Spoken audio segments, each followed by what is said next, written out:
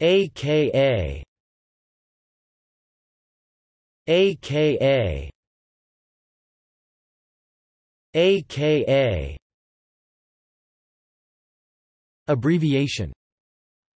Definition, also known as.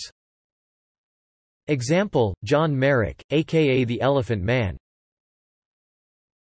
Thanks for watching this video. Be sure to subscribe to our channel to get more free learning resources.